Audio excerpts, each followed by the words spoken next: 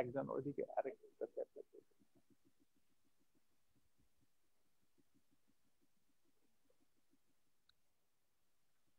কি রেডি সব ঠিক আছে? Okay alright thank you now yeah sydney you please start. Now we are waiting one more person. Uh, malaika she was here yesterday the opening ceremony. Uh, let me introduce the Gyda everybody is watching Gyda um, she's uh, our program advisor and uh, she's the head of uh, new nordic film festival in Haugesund in norway very beloved friend of us and uh, our, her husband Ogi, she's he's going to connect tomorrow uh, in, a, in our West Meets East program. Sydney is also as well as uh, she's going to join in our West Meets East program tomorrow. So let's have our uh, second session, a third session of second day, the final session. Um, the subject is made, uh, made in Bangladesh, the case study. Anyway, Sydney, please start your keynote paper. Thank you. Hey. Thank you. Thank you, Ahmed and Sadia and Ghalib and everybody there. I appreciate your help. Um, I had wanted to start this with a trailer of the film made in Bangladesh. Um, I don't know if the tech staff is hearing me, if they can do it. I asked them if they could put it on. Um, question Are they able to put on that trailer that I asked for? Maybe not. I hear no answer. So, can you do If not, I shall begin. I wanted the trailer so you would see this beautiful film. Time. Meanwhile, can we start and if we uh, do it in the middle sometime, someplace? Okay, when it's ready, you tell me. Okay. So um, this case study was written to encourage emerging filmmakers to take advantage of the uh, possibilities to move forward and to encourage all filmmakers take your film beyond the primary public viewers to those people who are not cinephiles but whose greater interests are lying in the social matter in the social subject matter of the film this may mean choosing film festivals by subject matter, and it may mean traveling to workshops that are held in conjunction with top international film festivals where the industry goes to network. Even if you cannot travel, when you meet someone in the film business or within the social sphere of your film story, consider that one day you may work with them and think about what would that look like as you speak to them. Uh, look to others for role models the person and their journey are both parts of a modeling process for you to follow or not to follow, depending on your own journey, which only unfolds as you go.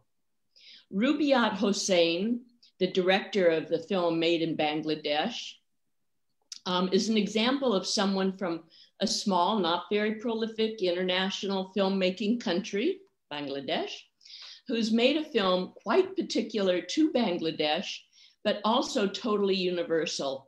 Its subject matter reaches every society in the world in one way or another. With the proper marketing and outside circumstances being favorable, a well made film can reach its proper audiences. So, Made in Bangladesh, directed by Rubaiyat Hossain, had its world premiere in the Toronto International Film Festival in 2019. The festival's artistic director, Cameron Bailey, said of the film's main character, she's the Norma Rae we need now. In this story, the ugly walls of resistance arise when a young Dhaka woman attempts to organize a union with her garment factory co-workers to fight the exploitive labor practices and the global trade apparatus which supports these practices.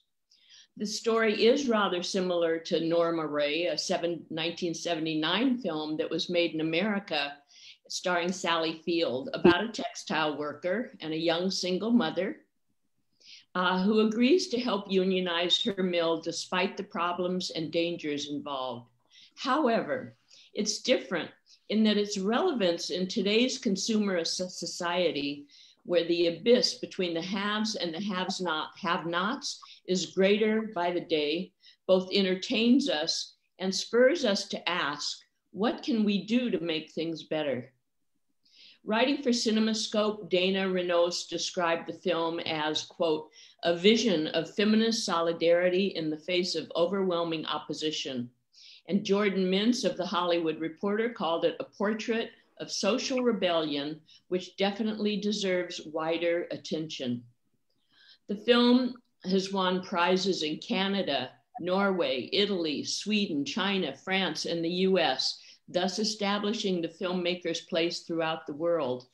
The film won the Premio Interfedi Award in the Torino Film Festival 2019, the Audience Award at the African Diaspora Film Festival in New York, and the Norwegian Peace Film Award at the Tromsø International Film Festival. It's currently up for a Golden Globe 2020. And um, if you get this paper, or you can go straight to IMDb, you can see a list of its seven wins and its four nominations, as well as the list of festivals. This is also important for you as a, a filmmaker to follow her steps. It's good for networking. If you do follow in your role model's footsteps, and you don't have to dog her steps. You don't have to bother her with all your questions, but you can find her way and decide to go with it or not to go with it. Now, once a film gets into distribution beyond the mainstream theaters or television and streaming, as I mentioned, the subject matter may take the film to other audiences. For instance, in France and in England, the educational reach of this film will extend its life into the world of fashion design and best practices. In the US, its life is extended through NGOs and social action groups which deal in human trafficking and women in the labor force. For the past three years, but not this COVID 19 year, I've taken a two day journey to Bangladesh where I serve as the director of the Women's Conference of the Dhaka International Film Festival. The first, second, and third times I went, what always strikes my admiration, first of all, are the beautiful designs of the fabrics that women wear. I'm wearing a beautiful, beautiful shawl that I bought there one day. Um, these fabrics, even the poorest women wear saris of such original print design and in such a special combination of colors, you must admire it. I felt very at home watching this film, and I enjoyed seeing the protagonist not only come into her own, but to exceed her own boundaries in her mind. That this Bangladesh tale of female empowerment is based upon a true story of one woman makes the real life saga, which is still going on, all the more important and relevant to who we are and what we are all going through today. Back to the fabrics of the clothes worn by the Bangladesh women that inspire me so. If I were a designer, I would be mining the country for original prints and textiles. This film gives you a deeper look into the Bangladesh textile industry, and you become aware of the dichotomy between the richness of color and design and the poverty of the sweatshops that create clothes for Western consumers.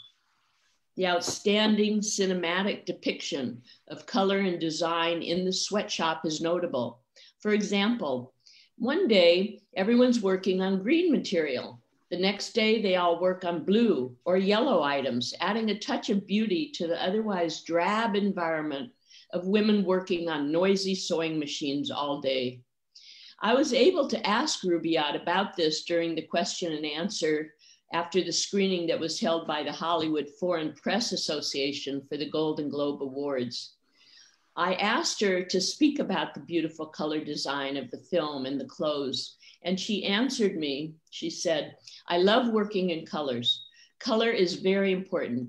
Bangladesh is very colorful. The rickshaws, the women's clothes. I was inspired by the paintings on rickshaws Rickshaw art itself is hand painted in bright saturated colors. It's very aesthetic. Rich colors also represent the spirit of youth. Most of the women are young. They like fashion. They dress up, even going to the factory, which they say is going to the office. Dhaka, at the same time, is a dark city. There's not a lot of electricity, so I juxtapose dark and bright bursts of light and color. So, with my production designers, I wanted to use color in a strong way and also use darkness and color side by side. The purpose is to make you feel the space through color and sound. The people of Bangladesh are poor but proud people who have very happy moments, and color accentuates their well being. Colors form a centerpiece for this story. They're outstanding and they're very purposeful. They actually do work on color lots every day at the factory, but here the colors have more meaning. Yellow is the color of sickness, red is the color of danger. The colors set the mood of the day and the action of that day in the plot of the film itself. Now, I did want to show the trailer here. Um, I don't know if I could try it. I'll wait for you all to show it. I'm afraid I'll get offline and get lost in this internet world. So I'll continue. Uh, the appalling gap between those who make the clothes and those who buy them, with the large number of middlemen, men, middlemen between the two, is illustrated in the film when the protagonist, whose name is Shimu, speaks to the labor organizer leader, Nasima Appa, who says, You see two or three of these t shirts? They sell for as much as you make in one month. Moreover, the workers can't get overtime pay due to them.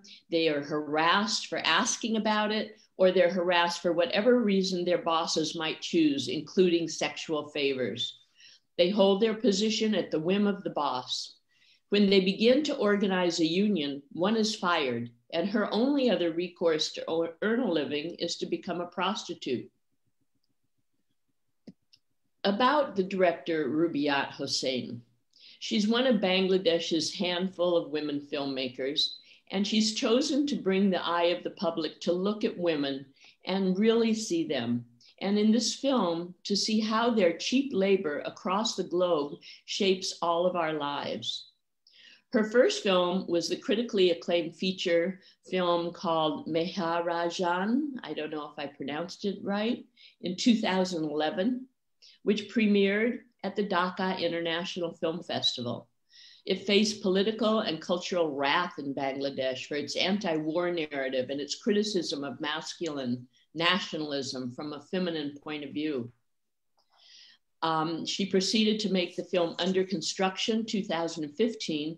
And again, I'm not sure, but it might have premiered at the Dhaka International Film Festival.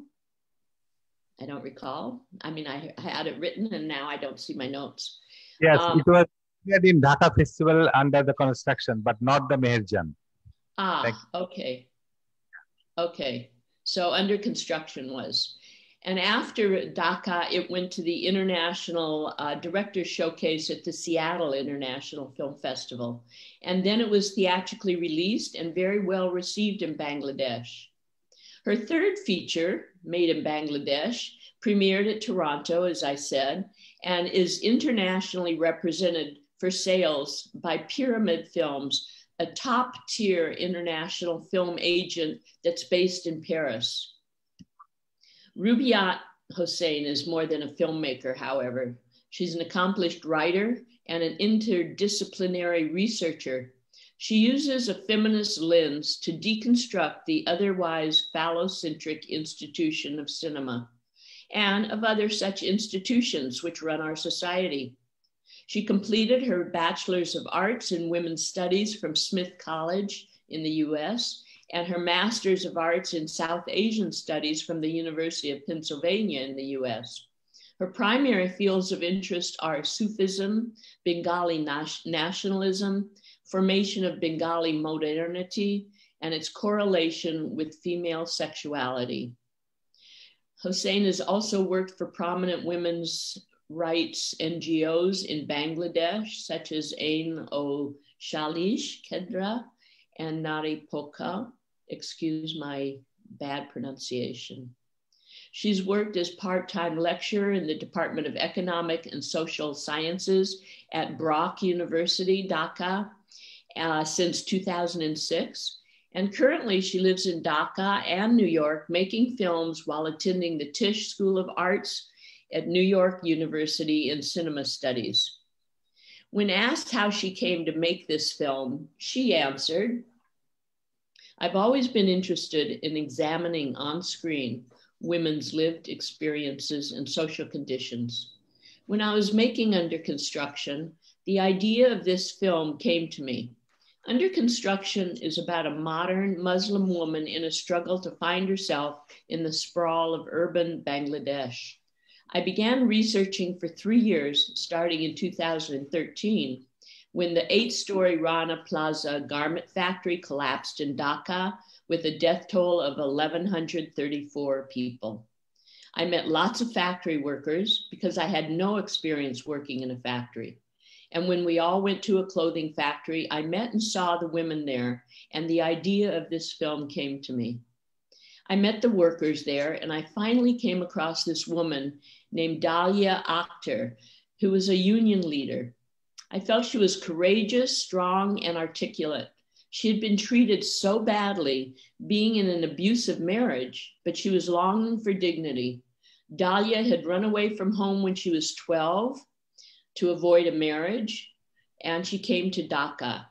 It's a pretty common situation for young women in rural areas. However, it was a very brave act to run away when you're so young and your parents want to marry you off. Lots of girls just get married. If Dahlia had stayed in her village, she would have already had three or four children and she wouldn't work. Work is an empowerment. So I began to write my story, which is loosely based on real events of her life.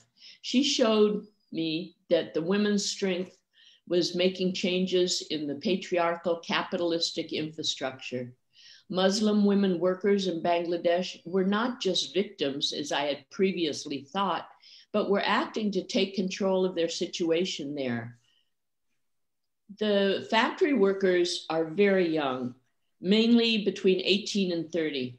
There are over a million young women like Dahlia working in the garment industry, mostly in their mid 20s. Some are divorced, some are married, and some have never been married. It's hard to find older factory workers as they develop back and shoulder problems as a result of sitting on hard benches, bent over sewing machines 10 hours a day, six days a week, for 100 euros a month in the best case.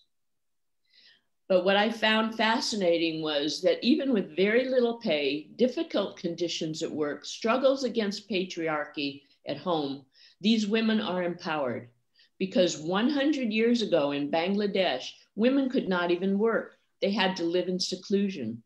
Today, they are working. They're making a living for themselves and their family. I have to correct this. 100 years ago in Bangladesh, Bangladesh was not Bangladesh, but you get the idea. Uh, today, they're working and they're making a living for themselves and their families. And they're fighting within the factory and at home for their rights. They're proud to have these jobs, which are, in fact, giving Bangladesh momentum in creating wealth as a country. I asked her, what did she think about the way the film's protagonist Shimu's husband behaved? And she answered, the masculinity in Bangladesh is really struggling right now. Men are losing some of their power. I've seen a lot of garment workers whose husbands didn't work. These men are living off their wife's salary. And as a result, they become insecure and they start trying to control something in their wives' lives. I wanted to show that in this relationship, the job in the beginning is a trap, but it becomes a place of empowerment later. When Shimu leaves home after being locked up by her husband, she knows that he might not take her back, but she goes to the job anyway. One of her striking lines is, We are women, screwed if you get married, screwed if we're not. And um, this led um, Hossain to say, Yes, I wanted to put that line on a t shirt. Unfortunately, they didn't put that line out on a t shirt, but they did use t shirts as a way to merchandise this film in France and to get rights buyers from other countries to buy the film. They gave him the t-shirts. Um, I don't know if I can screen share, but I have some statistics about the ready-made industry, the strongest element in Bangladesh in the fiscal year 2018 to 19. Um, I won't, I'm not going to go into the screen share right now, but it's important to know that um, that sector exported um, around US dollars, um, 34 million US dollars, which is 84.21% of the total export of the country. The apparel industry of Bangladesh started in the 1980s when outsourcing began. And according to the Bangladesh Garment Manufacturers and Exporters Association, one of the largest trade associations in the country, representing the ready made garment industry, although it started in 1983 with only 12 members, currently it has 4,621 member factories, a total of 3 1,856 factories have been identified as operational, and only 3.8% out of these 3,856 factories are unionized. About 3.6 million workers are reported to be. Sorry, what? Yeah, just one minute. We are uh, changing the internet line. So just one, uh, I mean, uh, 30 second maybe or one minute. Just hold on, please. Okay. We, we're we are, we are switching internet line, another one. This one is disturbing, yeah, a little bit. Mm.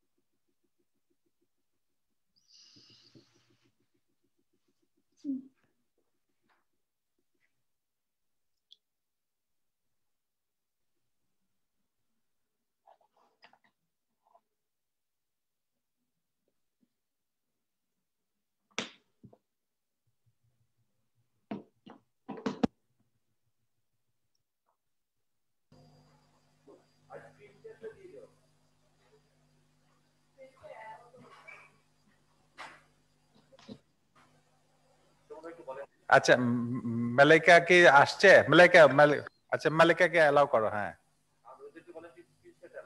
আচ্ছা screen শেয়ারটা ই করো Malaika, are you here? Meryl, can you hear me? Hello.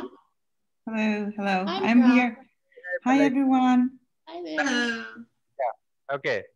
Uh, Malaika, let me introduce you the keynote paper presenter, Sydney Levin You know, and uh, uh, there's another beautiful lady here, Gyda, and she's from Norway. She's the uh, head of the new Nordic Film Festival in Norwegian International Film Festival in Horbusen. And nice. in the side sitting Mr. Mofidul Haque, he is our uh, board of member of the Dhaka International Committee. And uh, two um, filmmaker, uh, two more person here is Mr. A.K. Reza Ghalib and Sadia Khalid. They are in charge of our West Westmead East program. So uh, all kinds of things going on. And you, we are middle of the keynote paper, Sydney Levine. We just uh, asked her to one minute break because the internet line was something was interrupting. So we are now, uh, yeah. So Sydney, if you want to screen, uh, uh, want to show us the screen? We can share the screen now. Yeah, okay. Okay, let me see if I can figure out how I do that. Share screen. Uh, there. Can you see this? No, we still see you. You just see me hold and yes. shift to select. I don't know how to do it then. Not, not, no, it, no, it's okay. Yes, we can see it. Yes. Ah, okay. So a little statistics about the garment industry, which the movie, of course, is about. And there's a particularly important point in this that I shall elaborate on. But the ready-made uh, industry is the strongest element of Bangladesh development in this last 2018, 2019. And the sector exported in the volume of 34. 133 million dollars US, of which 84.21% of the total export of the country was the garment industry. The apparel industry started its journey with outsourcing in 1980s. And according to the Bangladesh Garment Manufacturers and the Exporters Association, one of the largest trade associations of the country, representing the ready-made garment industry, though it started in eight, 1983 with only 12 members, it currently has 4,621 member factories and a total of 3,856 factories have been identified as operational. And of those, only 3.8% are unionized, which our story is all about, that small segment. About 3.6 million workers are reported to be employed there. 53% of them are female, 47% are male. But when it comes to the sewing machine operator, a whopping number of 80% are women. And the average age of the worker is 25. So with that, I'm going back off screen. If I can figure out how to get off screen now. Um, how do I get, oh yeah, stop share. Okay. So with that in mind, um, I said uh, to Hossain that Shimu's destiny was quite common, but she's also a real heroine.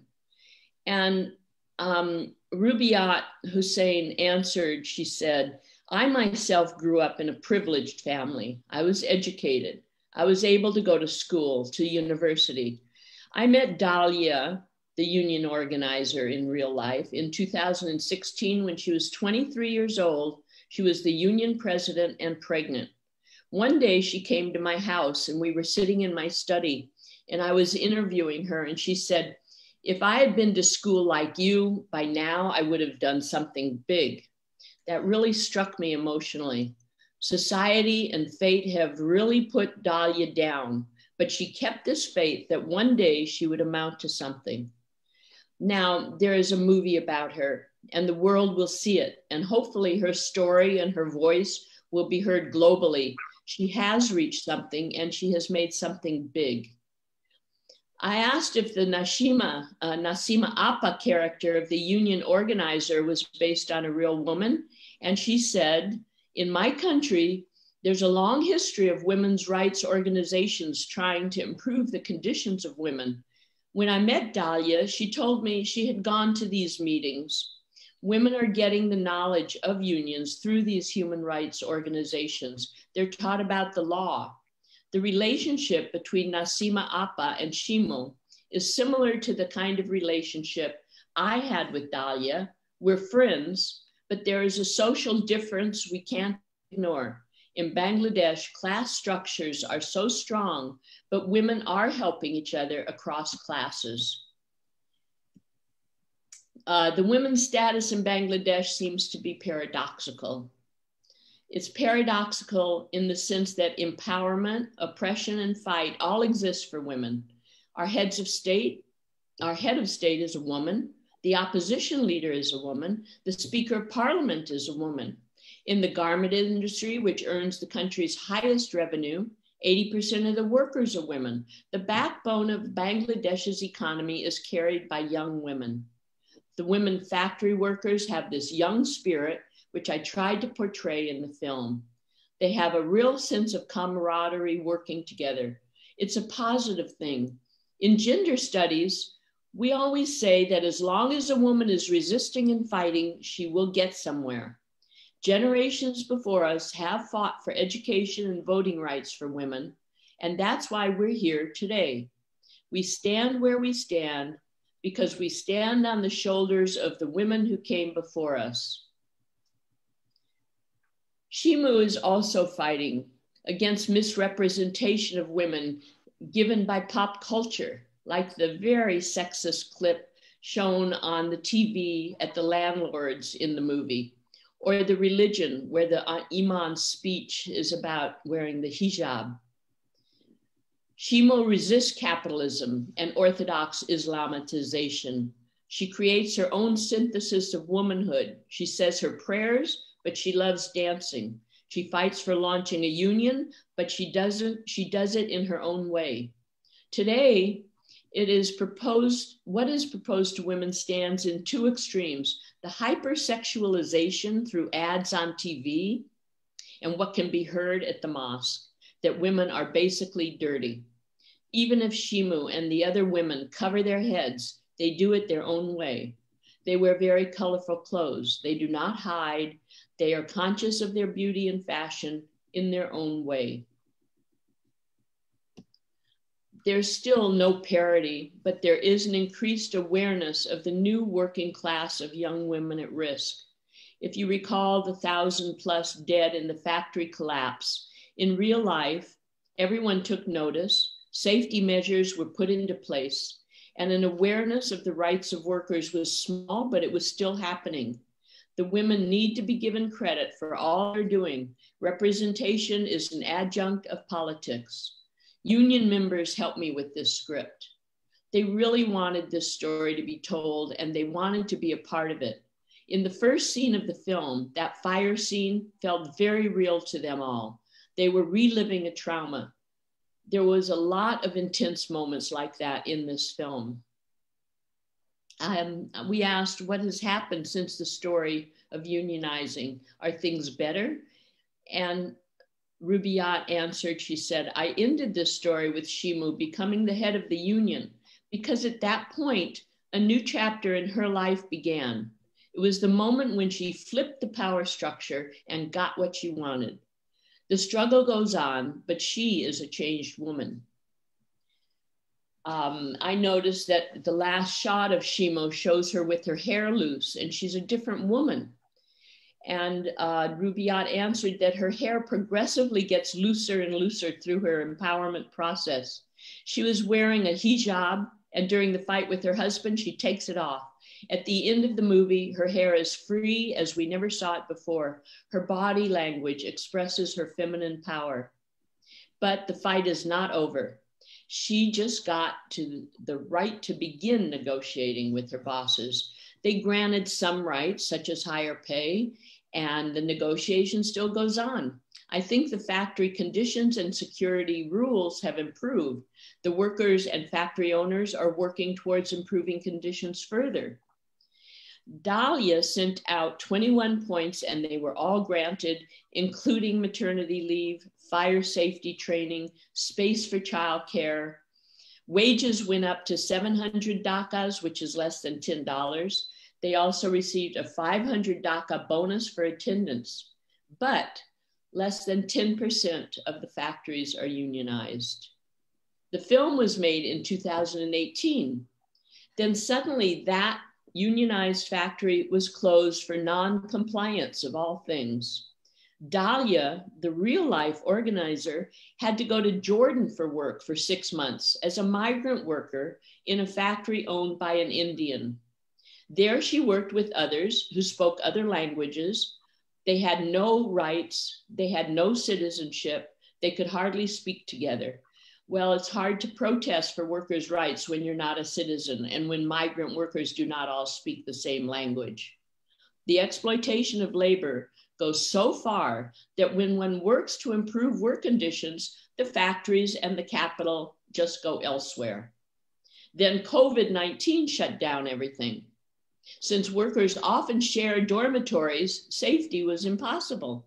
She had to go home. She had no income. Then flooding caused her to lose her home. It's a very tough time now, and she's seeking work with more NGOs to continue her work as an activist.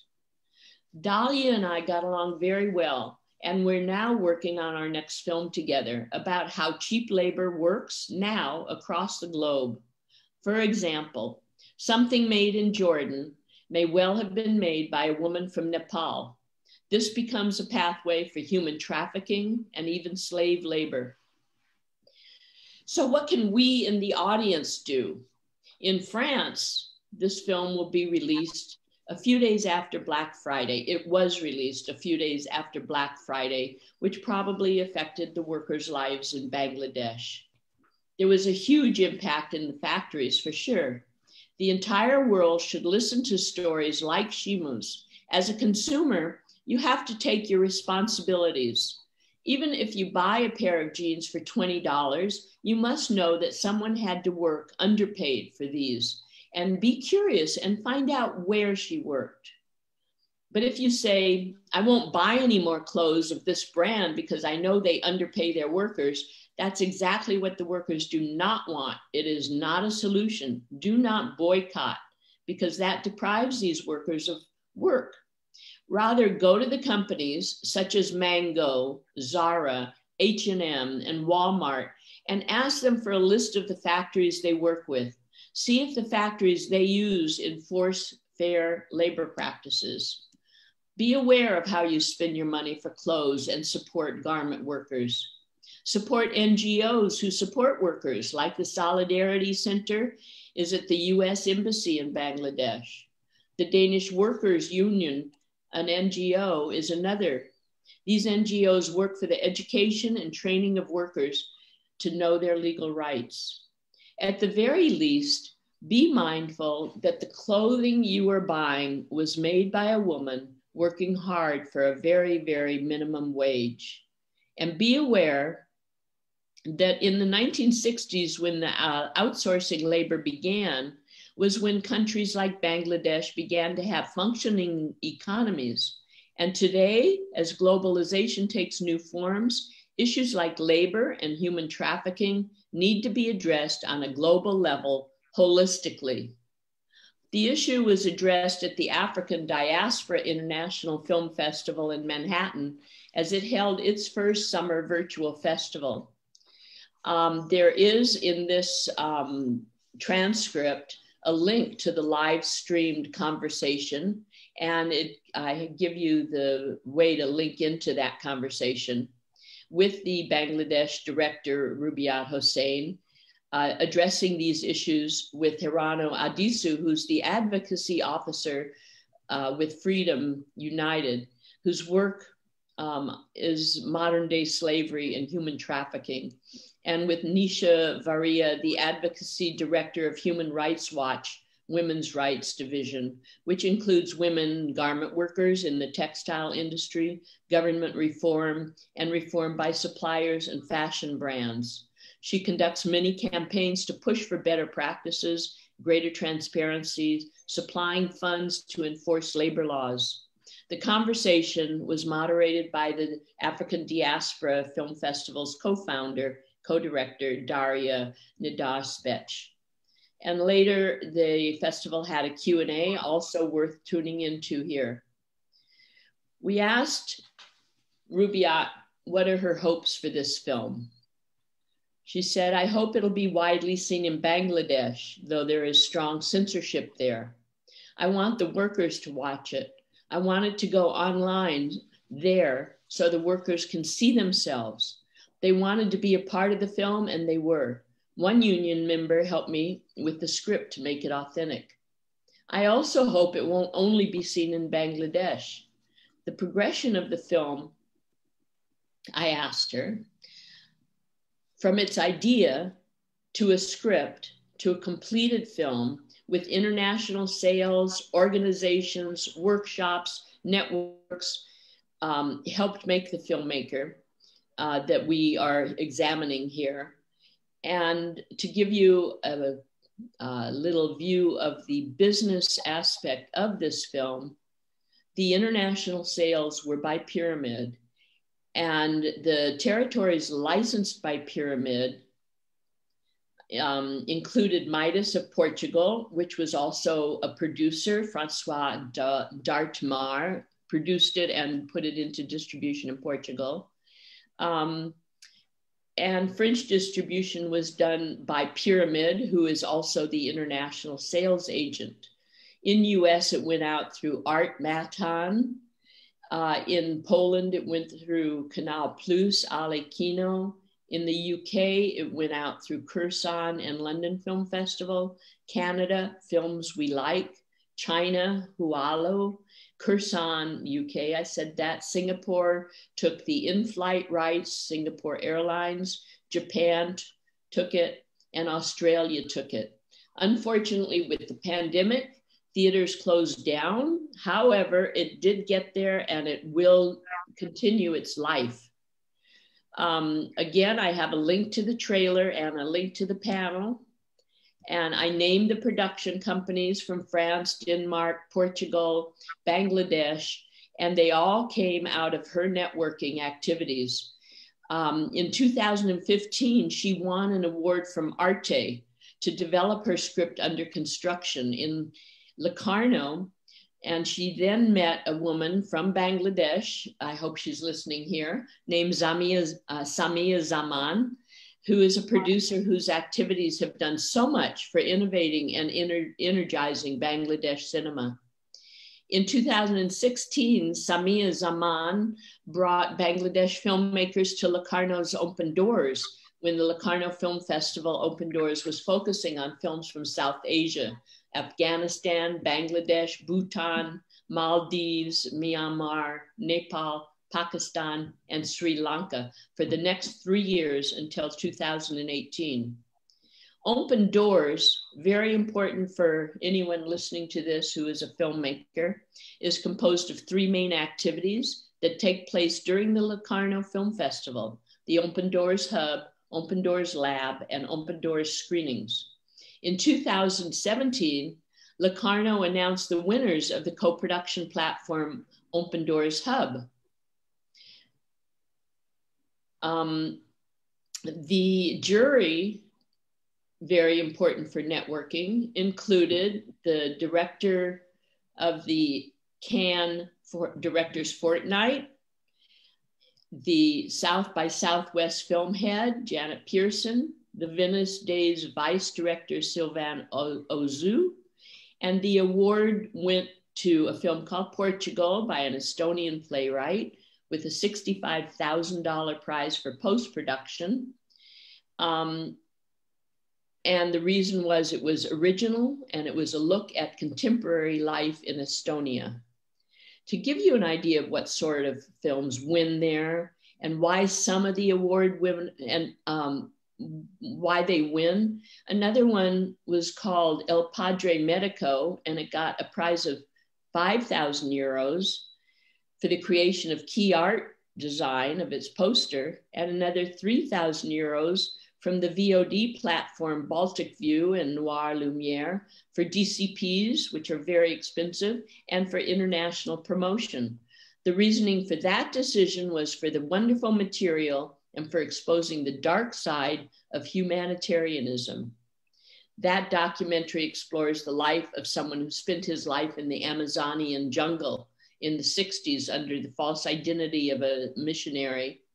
Um, and it was produced by a Lithuanian company, country um, company. Sorry, I'm looking. Um, another film that won was called Little Comrade. It won 5,500 euros of advertising services, and it followed a six-year-old girl, Lalo, whose mother was sent to prison during the Stalinist period in the USSR. Um, it was great storytelling, had international appeal, and great performances and great historical reconstruction. Uh, the winners of the co production platform, Open Doors, were also announced. And this gives the opportunity to the project holders, a director, and one of the attached producers to present their work further, aiming at international collaborations and further financing. The Arte Prize of 6,000 euros went to Made in Bangladesh. And that also secured the support of the Cinema du Monde Commission.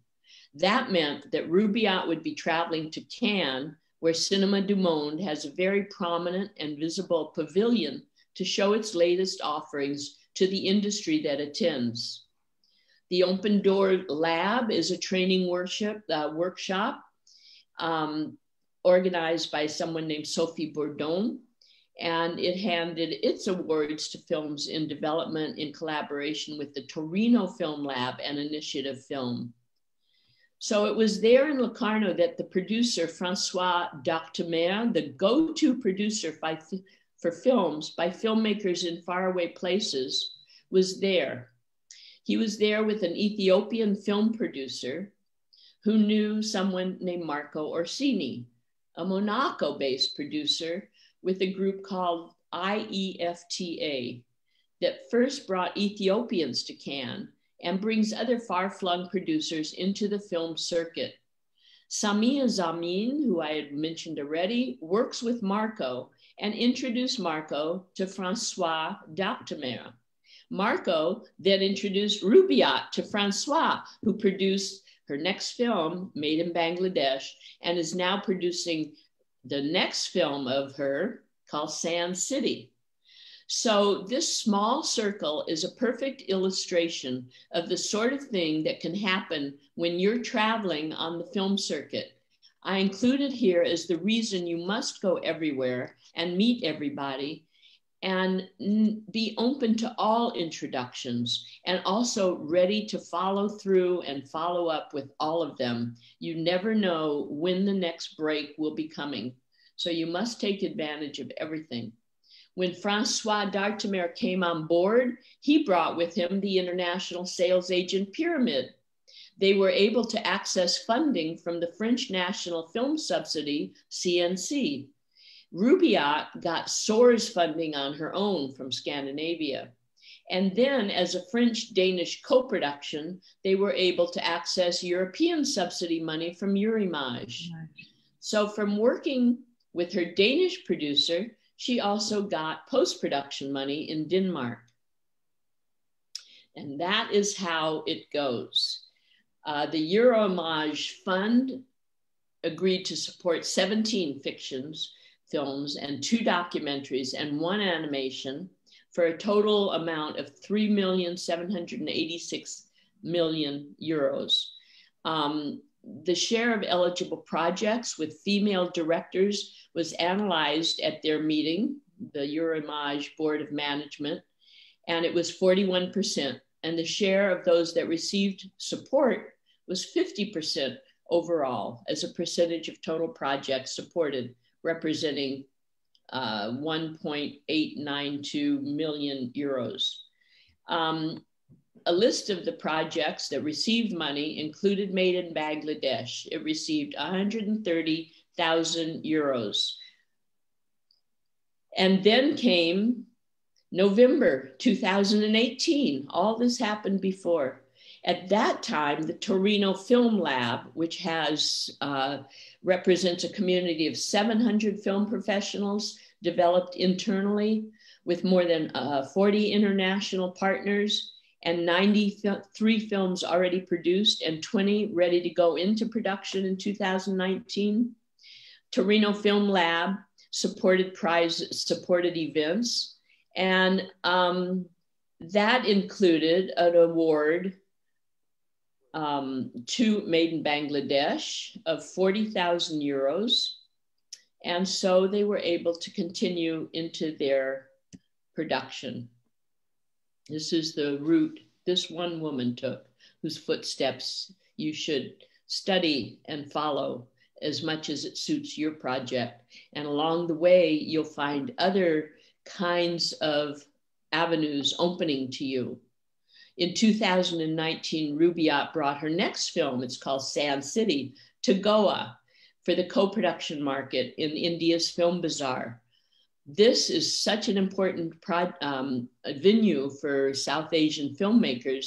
You must go, and it's closer to home, and it's a very good place to begin. There, the producer Francois d'Artemare came on board again. So, Sand City is a look at global labor, and uh, Rubaiyat's working on it with Dahlia, and it's being directed by someone named Mahde Hasan and it's being produced by Aadnan Imtiaz Ahmed, Francois d'Artemare, and Rubaiyat Hossain herself. In 2020, Made in Bangladesh had its Swiss premiere back in Locarno. Rubaiyat says, Today, women making films is not as bad as three years ago. The Me Too movement and the 50 50 challenge show their earlier problems have been recognized and are being addressed. In the past, men distributors did not want to look at a woman filmmaker in the eye, and they'd talk to the man in the room. In Europe, quote, women of color were considered exotic, and they had to watch themselves carefully as they worked with male producers. They had to make it clear to distributors that there was a universal positive to be gained by working with their films. Um, I had an interview with the international sales agent, Eric Lagesse at Pyramide. And um, I started with asking him how he got attached to Made in Bangladesh. Um, I asked him also to tell me how it was being distributed and promoted in France because I had seen a very impressive study guide on it for schools. And he said, yes, they did a four page leaflet telling more about the film and the industry in Bangladesh. And they did an interview with the director. Um, and they made some beautiful eco t shirts called Equitable, meaning equal, in different colors with the title of the film. We also did a poster in Paris in the metro. We raised partnerships with some feminist magazines, Causette and with cultural magazines, Telerama and Courrier International, and we released the film in 40 theaters. He had the idea that they wanted to spread the campaign about best practices in the fashion industry. Um, it was released before COVID, and the yellow jacket strikes shut the theaters down. Then the US released it on about 55 screens and secured a Golden Globe nomination, but it didn't go to the Academy Awards because it was not submitted to a possibly censorious Bangladesh committee. Um, Pyramide became involved at a very early stage, at the script stage. He, they read a few versions and they became very, very involved in the editing at the end of post production they watched the film several times trying to improve it as well as they could. And then when it premiered in Toronto, he began to do the territorial sales. It received funding, as I said, from France's CNC Aid, Au Cinema du Monde, and the Cinema du Monde, the Danish Film Institute, and Norway's Fund. Um, what else? I think I'm coming to an end here. I do not need to name all the funding and the production services, but if you're interested, there are many more details on the paper that you can read in Celluloid, Ahmed's organizational uh, magazine. So I thank you and I will end it here. I do wish that um, we could see the trailer, but you can see it online. You can go to YouTube and see it. So thank you for listening. I hope that this was informative and I hope that it spurred you to take action for your own film project. Thank you. Thank you, Sydney. Connect, uh, will be, uh, maybe someone will go and ask something or anything more. Just you can uh, hear from other discussion, I mean, what they said. I'd love uh, to hear. Yeah, um, uh, I would like to um, invite uh, uh, aka Reza Ghalib, uh, who is a filmmaker from Bangladesh. In fact, he has seen the film. So let's hear someone who has seen the film, what he has thought about it, please. Thank you, Shobhan Bhai. And thank you, Sydney, for such an in-depth, extensive, and informative that you have. I think you have worked very hard for writing this because it can be seen.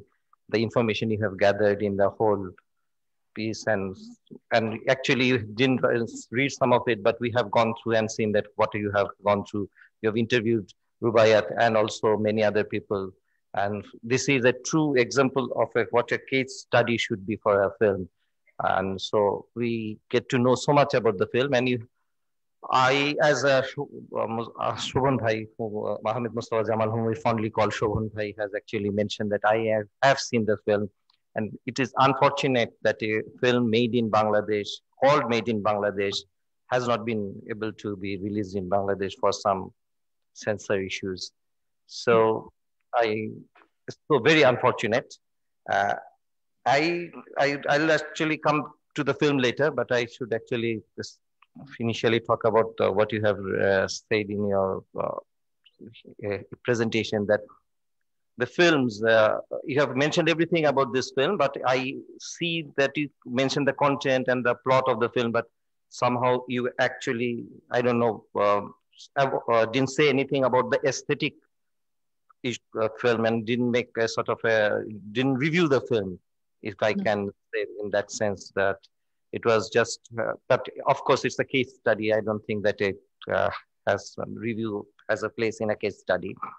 So as a filmmaker, I I was very interested to see this film because, as you have said, that this is uh, one of our film first of its uh, kind that has been released in so many theaters in Europe, across Europe, and it's a event. I think it should actually celebrate this film in that sense, uh, and it is something which is has uh, shown that in present situation in for filmmakers or, or for independent filmmakers, it is not enough that you have a good script, you have a good idea, or you have a good team. It is also very important that you have a good network. Otherwise, it is not possible to take your dream into execution level. So that is what has Rubai has shown in past all three of his films. She has gradually shown how to make a film and take it across the globe so that many people come across and to make a successful film. And Made in Bangladesh, one of the first example of that. I have seen the film and I was really amazed by its technical quality. It was like something I don't think that it would have been possible without this kind of support that she has received, international support.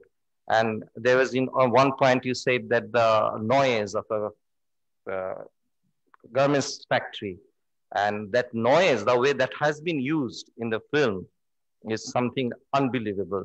And the sound was like that. Those are the things actually I think we should look into uh, this film. And this is what how an international film should be made. And I, as a Bangladeshi filmmaker and from Bangladesh, there are some issues that I think only Bangladeshis will understand, which is not very.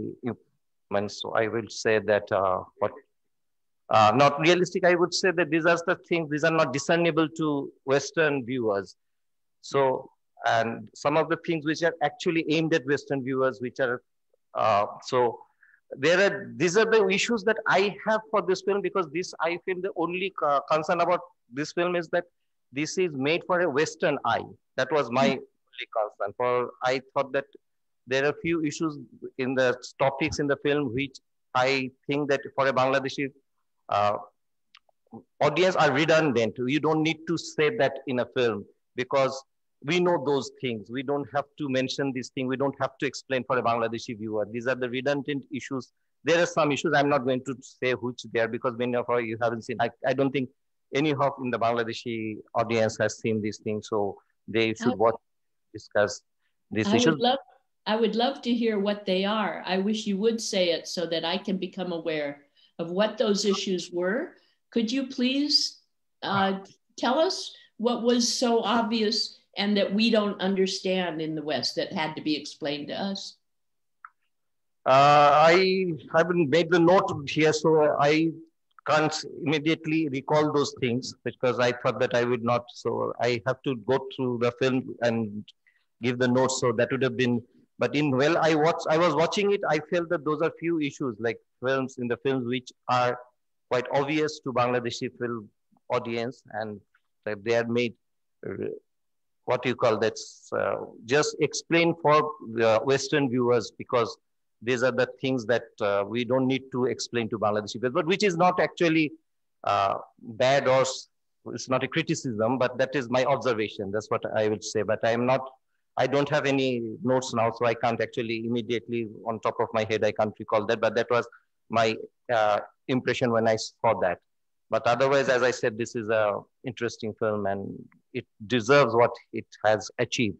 And for me as a filmmaker, as, as I said, that it is very important that we have learned that networking is a very important thing. But another question is like when you do networking, this is a question I'm raising over here, that for a filmmaker, when you want do networking and you want Western funds, And how important is it that you cater to their demand and how much you have your own freedom? I don't know. That is a, because uh, these are the questions that we are discussing in our among ourselves. That how, how much freedom a filmmaker actually has when they have to go through all this process, and how much actually uh, their what you call that creativity is actually whether they are being reined by the so much uh, rules and uh, yeah.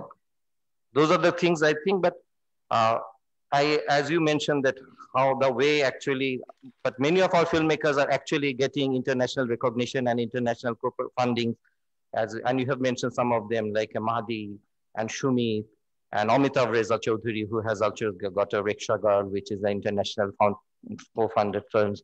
So this is an opportunity for Bangladeshi filmmakers to get a global recognition and global exposure. And Rubaiyat, one thing I must admit that Rubaiyat, the network she has built, she has not only taken advantage of herself, she has fun, has a production house called Khona, and she is actually uh, what you call the mentoring young filmmakers and giving them opportunities. And there are many films being produced from the Khona production house. One of them is was uh, uh, called uh, Postmaster, I think. This Ong Rakhain has made a short film which went to Claire, The Last Postman. So, and she's also again producing many films and actually trying to get co-production from film other filmmakers as well.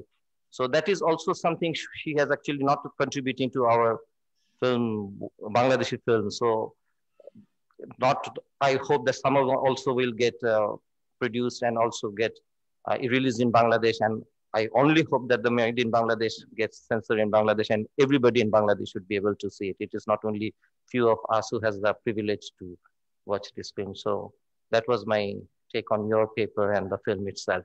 And one day, Sydney, I will talk to you about the my observations about the film. Thank, Thank you. you.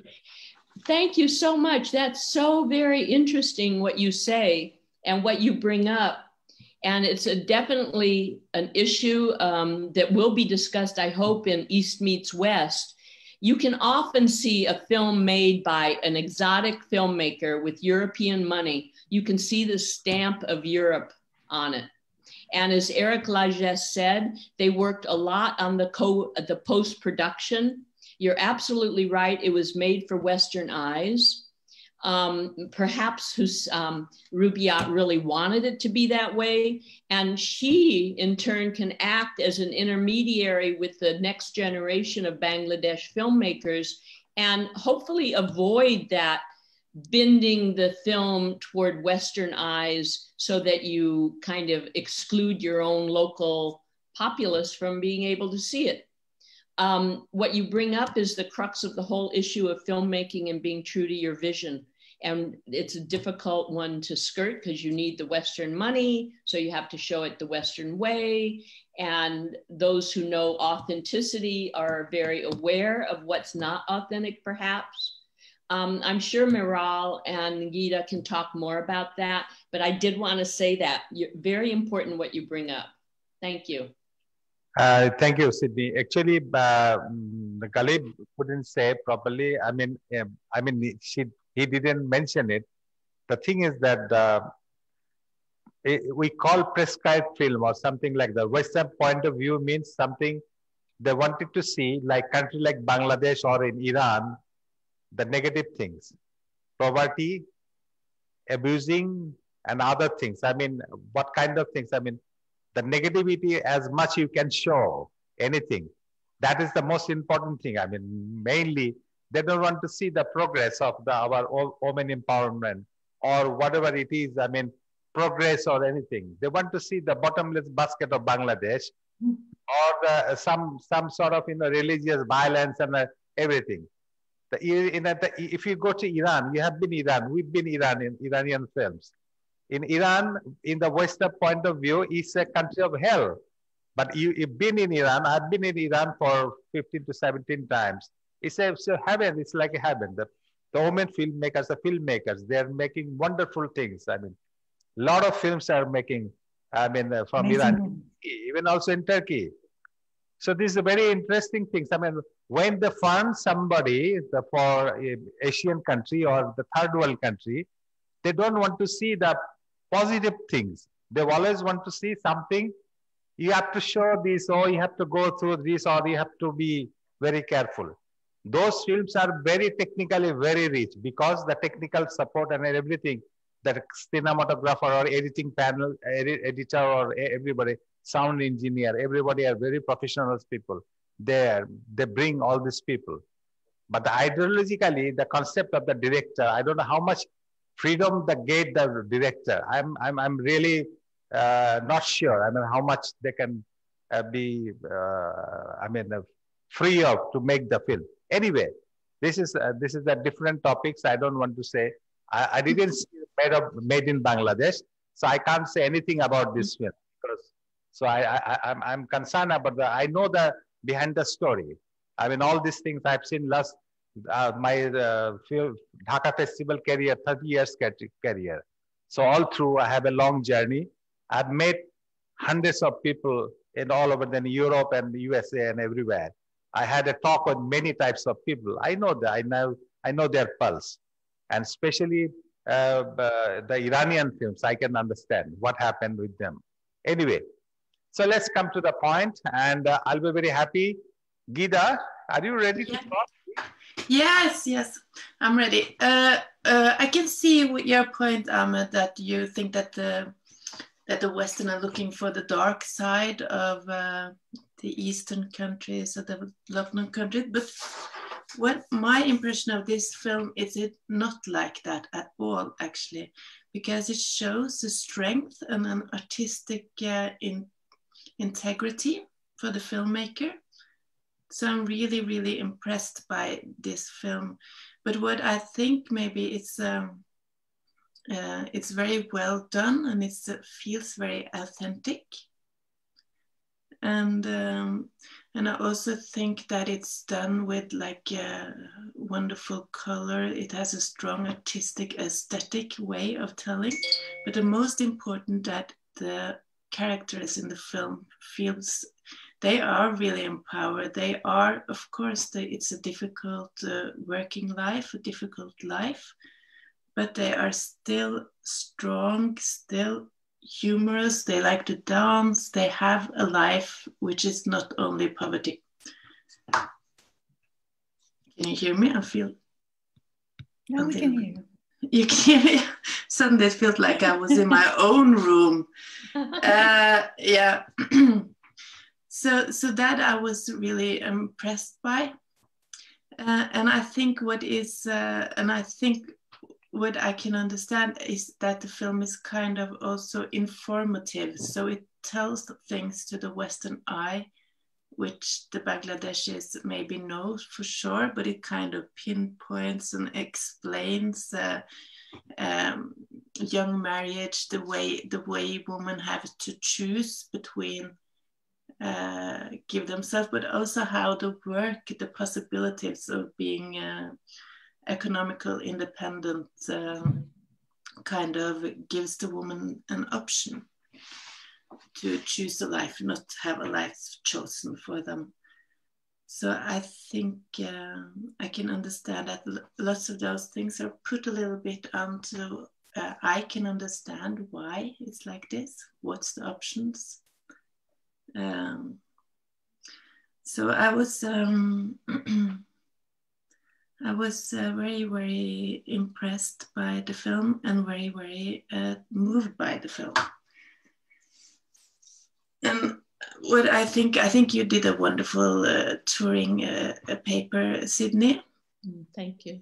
Yes, so uh, so I think that explaining was very thoroughly with the points of view of the filmmaker, the points of view of the sales agent, and I think that that of what what is like the filmmaker's difficult things is if when you come with your project, you will meet people who want to change your project, want to take part because they're financing, they're putting something into it. And that's why it's so important in all countries, also in Norway, that you have people around you who can support your artistic integrity and that you also are very aware and you can use all of these inputs. You do, we don't you don't need to be learned to be a filmmaker. None none of the emerging filmmakers needs to learn to be a filmmaker but they uh, they can they need to kind of resist and stay in their intention. What film am i making? And then take the feedback and then think about it and use the ones uh, in a constructive way. So i think that's that's like a, a, a challenging for all young filmmakers all emerging filmmakers. Also also in norway in the nordic countries you will all of the filmmakers are struggling with the thing that you have people like all the wheel of distribution, the international sales, the festivals, everyone wants to kind of advise to push the movie in different kind of direction.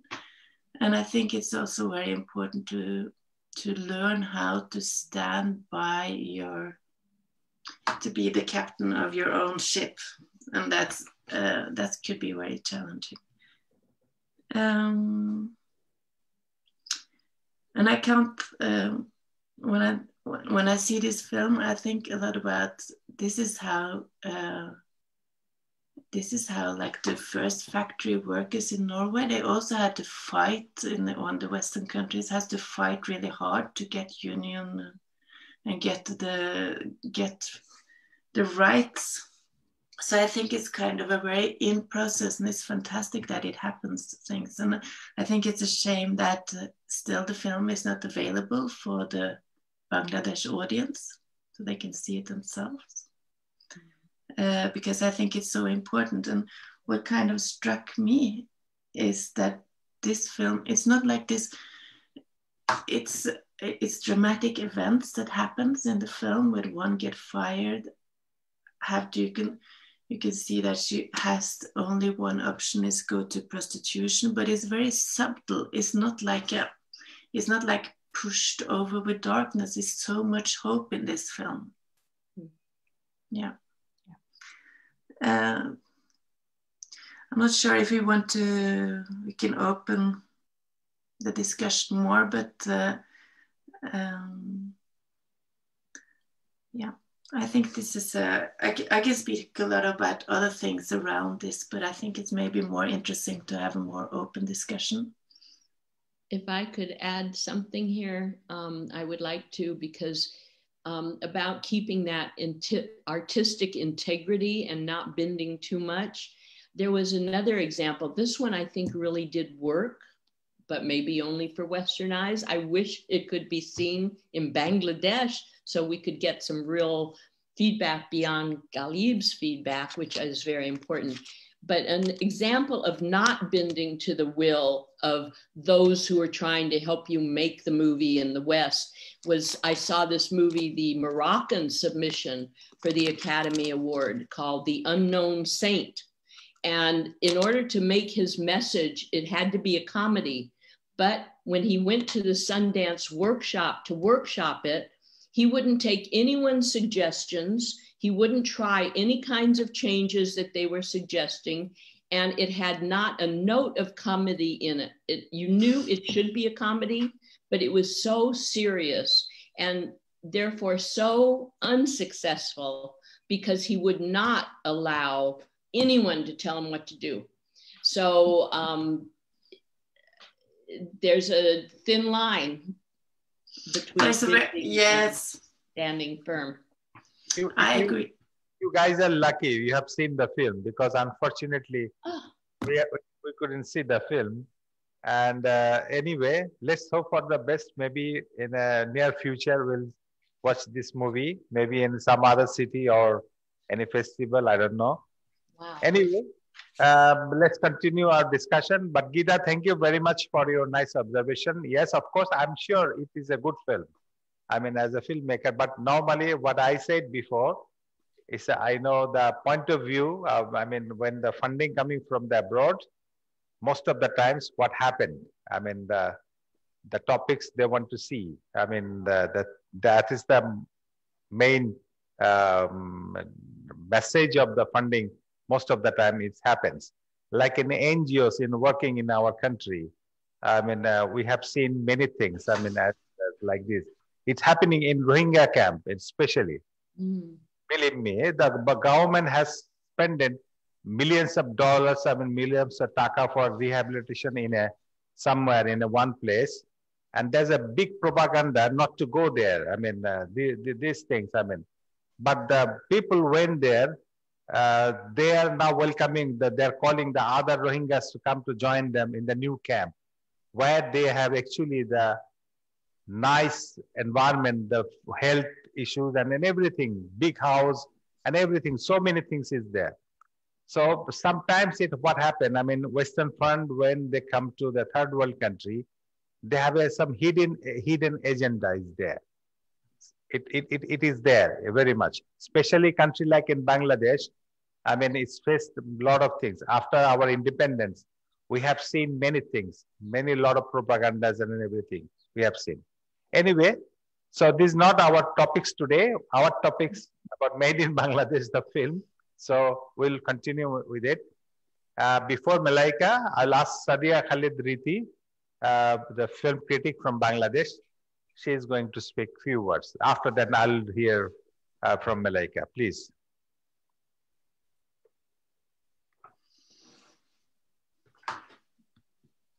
Wow.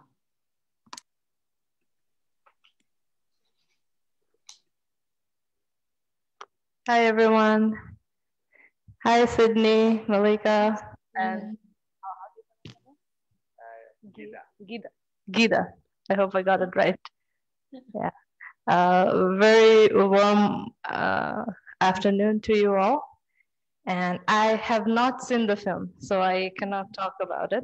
But the reason I'm here is that someone who has seen the film uh, is in the audience, but she's she doesn't want to she doesn't want to participate. So, okay, so I've seen another film of Rubaiyat, so I'll just uh, uh, uh, pitch in uh, about that.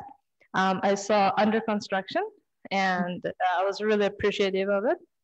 Mm, I really liked how she portrayed the upper middle class woman whose um, whose husband isn't really giving her the attention or the love that she needs, and so she really seeks it somewhere else. So that was really um, uh, that was like a revelation to see on screen, and I really um, commend Rubaiyat for, doing that.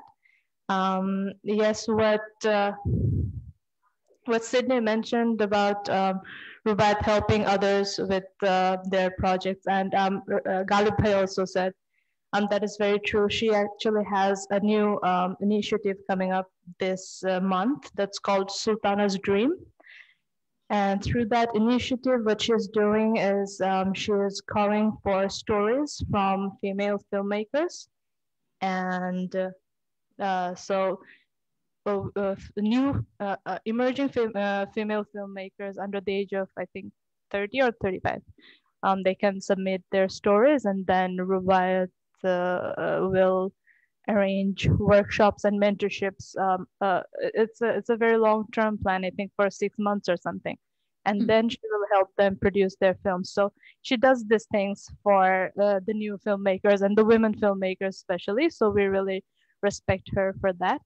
And I hope to see Made in Bangladesh in some other film festival. Hopefully, it gets censored and we can see it here in Bangladesh. Um, so, so that Made in Bangladesh can also be made for Bangladesh. And thank you. That's all from me. Thanks. Oh, thank you.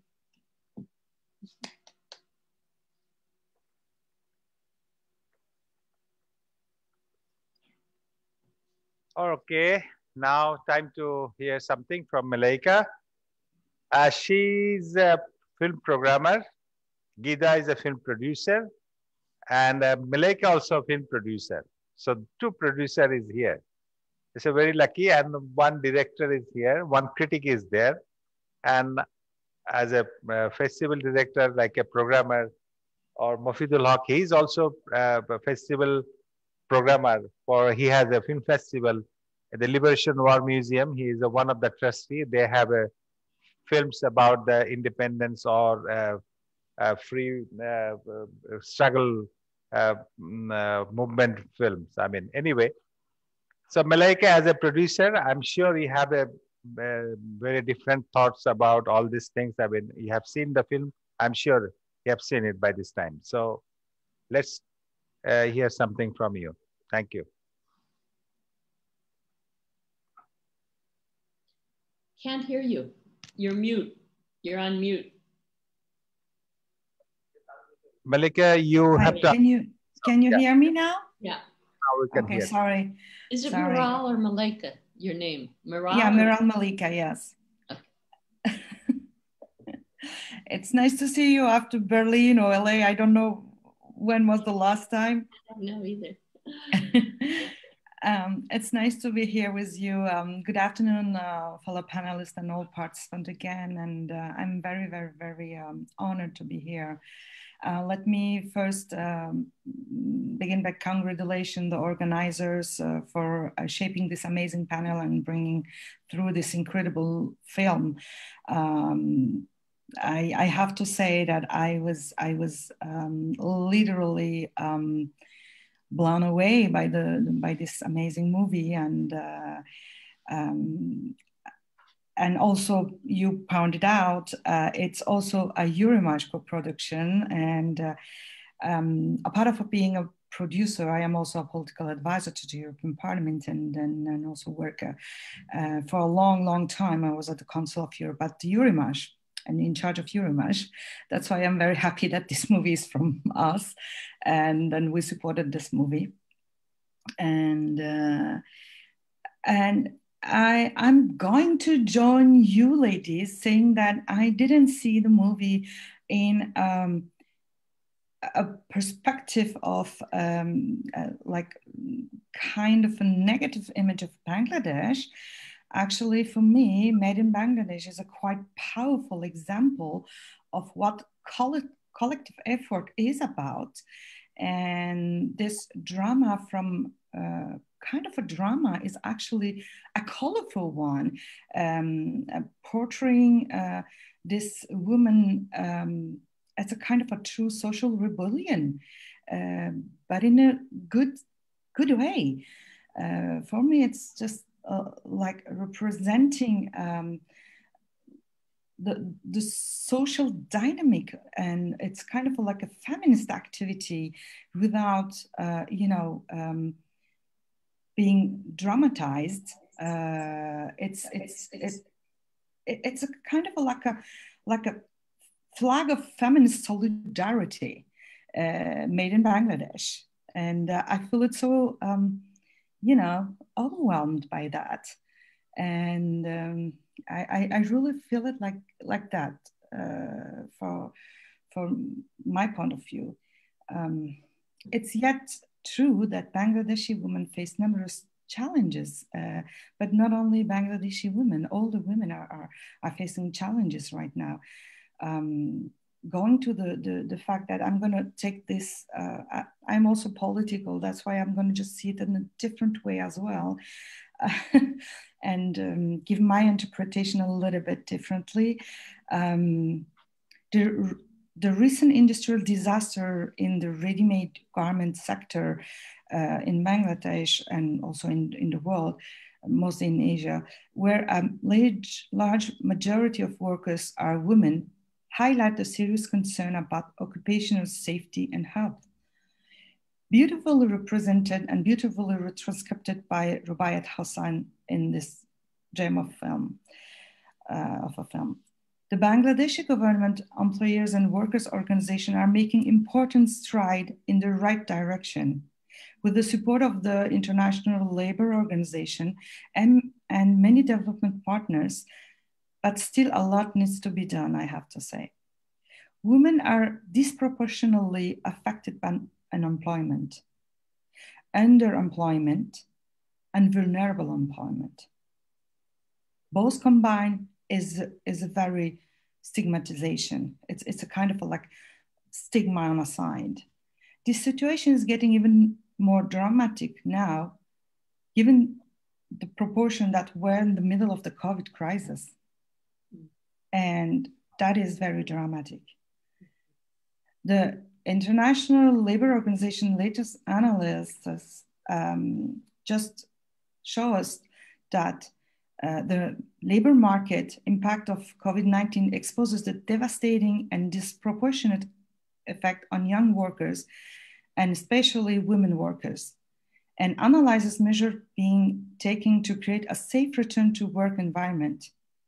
But for, for more, most governments, including Bangladesh, it is crucial to create an employment-rich recovery and quick recovery that also promote equity and sustainability, which means getting people in enterprises working again as soon as possible in a safe condition, of course, and help them remain safe for both workers and employers and to keep the business and economy going. This is, this is not just a humanitarian crisis, but also an economic and social crisis. We're talking about 3.3 billion global workforce, informal workers, and the most vulnerable lacking safety protection and access to good, good health care. Moving forward, I would like to just say that it is important to put in place gender responsive labor market policy that will pave the way for more equitable employment outcome and decent work for all. In this regard, I would like to mention something very nice and very good and good news, who's indirectly linked to the movie, is that um, there is a new agreement which was signed by the Republic of Bangladesh with the EU and Germany, which is very, very important agreement. Uh, it was signed um, lately and the European Union and Germany joined forces with the government of Bangladesh to safeguard the livelihood of workers in the export-oriented industry and sign an agreement to provide 113 million euro in support to the governments. I mean, the, the Bangladeshi governments already uh, put in place um, a social protection program for unemployed and distressed workers in the ready-made garment, leather good, and footwear industries. And the EU and Germany put money and, and support on, on these initiatives to help and support Bangladesh. And indirectly, of course, women, because mostly they are the, the one who's working on these um, sectors, mostly. And by default, this program, which is part of the Team, Euro, um, Team Europe's contribution to fight against COVID-19, as a consequences in Bang has some good consequences in Bangladesh to offer a safety net to workers whose livelihood are affected by the economic fallout. It is also contributing to strengthening the resilience of Bangladesh social security system. On December 24th, we, the Europe and the Germany has already transferred 80 million euros to the government of Bangladesh. It's just really recent. And with this COVID pandemic, um, they, um, I mean, with this COVID pandemic has created a public health emergency. Uh, this is an immediate consequences of economic consequences which people are to face in their daily day life. That's why the government, the, the, government of Bangladesh responded swiftly with significant stimulus package to the industries and scales up assistance to mitigate, mitigate socioeconomic impact. That is a very, very good one, with a particular attention to Bangladeshi living in poverty or who are highly vulnerable. And we see that in the movie as well. That, that is something like we can see that, that this, this is one example in one factory, but it's just not, you know, um, this is just an example of what can we can be done. Um, in this line with the program, uh, there is a guideline who was issued by the Department of Labor uh, and Ministry of Labor of Bangladesh, which is in charge actually to temporarily uh, give in charge of temporary cash assistance and will provide workers who suffered income loss during the pandemic. And they started with the garment, um, uh, the ready-made garment uh, factory workers. Uh, I think the eligible workers, according to the gui guidelines, um, they're gonna give, I think the guidelines started at to receive 3,000 taka per month per worker for a period up to three months. And they already started to give this money, which I think is a really, really uh, a, a, good, um, uh, good start. And we we can see in this in this part that the effort uh, for this was combined and identified with the employer associations. Most of them include the Bangladesh Garment Manufacturers and Exporters Association, who help them to, to you know, figure out who needs uh, the first hand, hand help uh, with the Bangladesh, uh, Bangladesh uh, nightwear manufacturers and exporters association and leather good associations.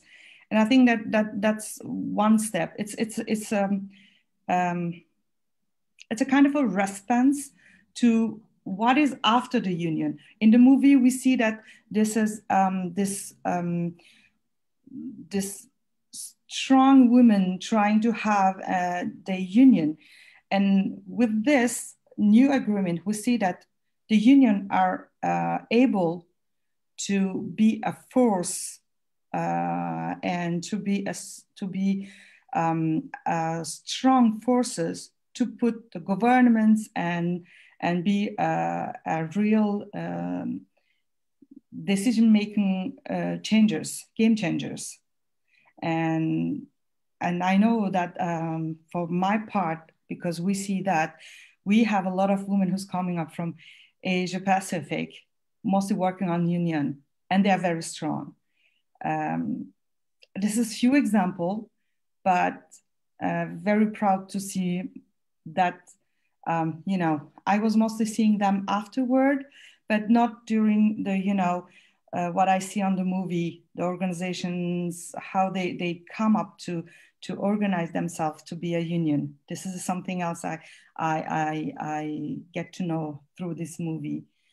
Um, and it's not directly linked to the movie, but uh, it's mostly linked to the labor market. Uh, and as we talk with uh, Sydney, um, and and the movie of uh, for the next one was will be probably a little bit different and and uh, you you told me that uh, she went to Jordan she Dalia and she worked there at one point. point and and this is very common uh, Sydney unfortunately because um, uh, unfortunately we are facing globally something very important um, now is the labor trafficking but not only labor trafficking, but trafficking in general, human trafficking. And we don't see that in the in the movie. Uh, it's not it's not directly linked to this movie, but um, we have, for example, Bangladesh is one of the world's top exporter of labor and depends on money sent home from about 7,100 uh, people who go abroad to work each year. And uh, and help their, their family. And they try to you know survive and help their family to survive. Um, every year thousands of thousands of men and women and children fall into the hands of traffickers when they want to to go to a new life when they want to go to create a new life. And uh, unfortunately this is also something common we see. And uh, um, we i mean we see from Western eyes, as uh, the, the, the, gentleman says, but uh, I think you also see it on, from your perspective that that is not that easy. Uh, from the Western um, point of view, we see this trafficking uh, differently, perhaps, or we live it differently, and you live it differently. But uh, morning. most Friday. biggest problem is sorry. Long week, busy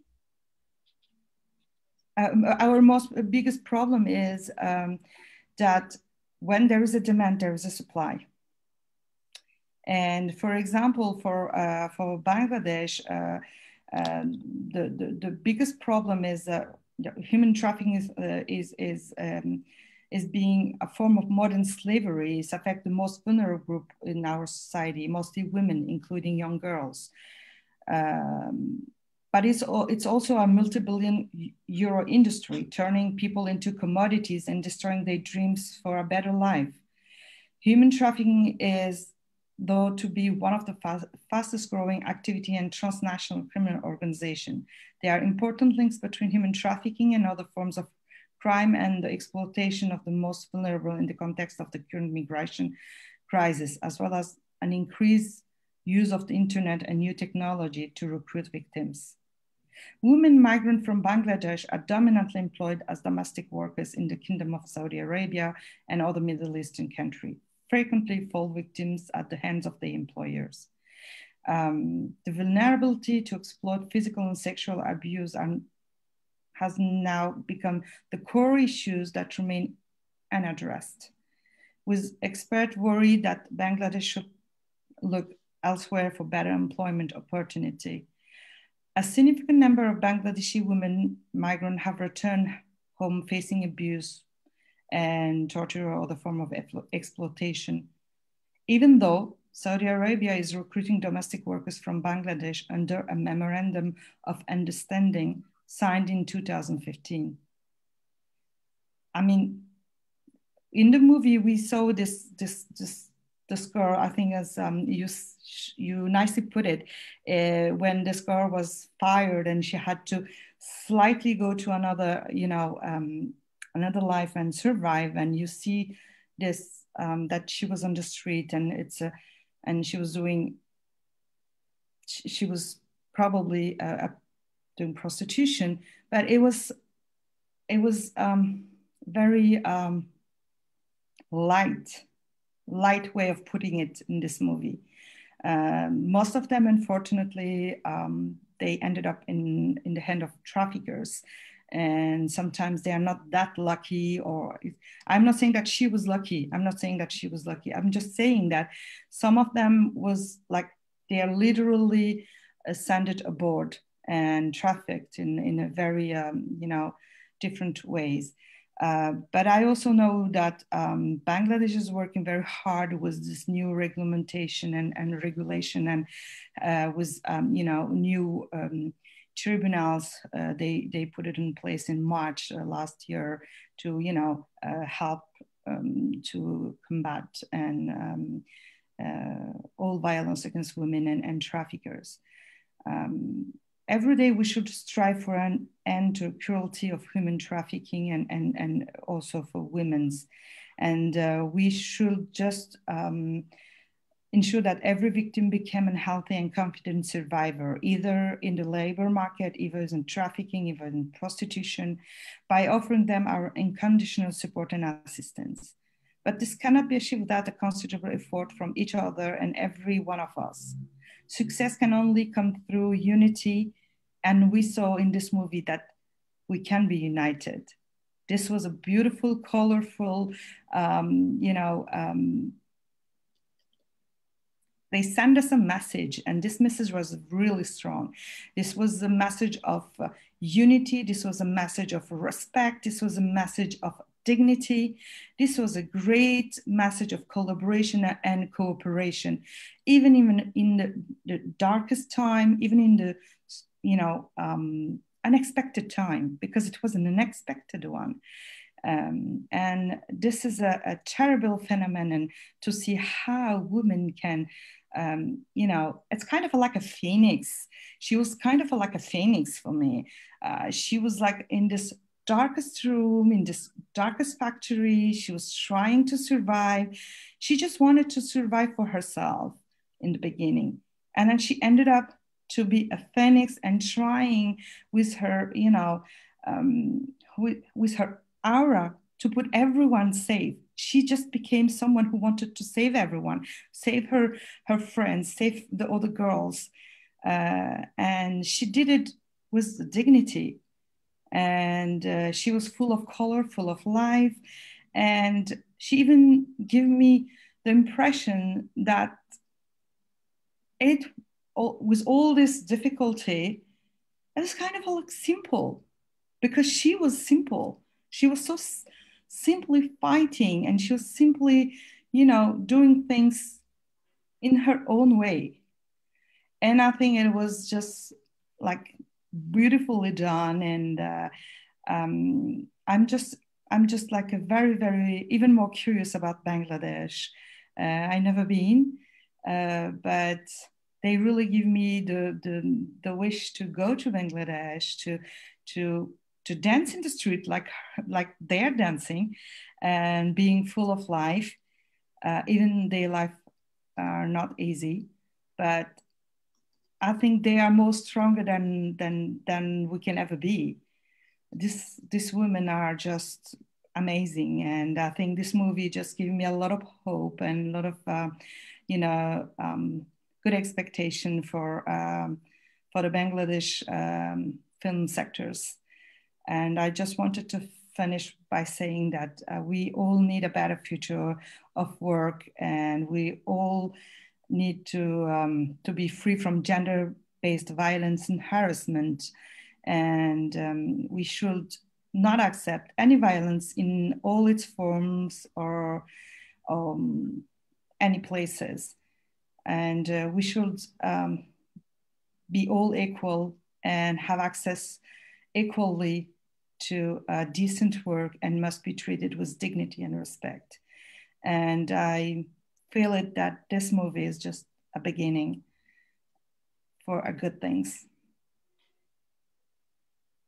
Thank you for your participation and input. I know that I also put some other things which was not directly linked to the movie, but for me it is because we just so one part of the, the the film is one part of the reality and there's a lot of other you know who's surrounding this uh, life and and i was thinking about this pandemic. I wanted to to to talk about this pandemic. I wanted to talk about this new you know agreement signed by bangladesh and and, and the eu and germany because it is very important. Uh, some people per- perhaps they didn't know about it and uh, perhaps they can go and see their they, they relatives who's working in factories and they can get this money now because it's just started and they perhaps can apply for this money if someone is listening. And i just wanted to to um, mention that because this is this is something which is happening right now and they can apply for three months. And um, yeah and they can help them to survive.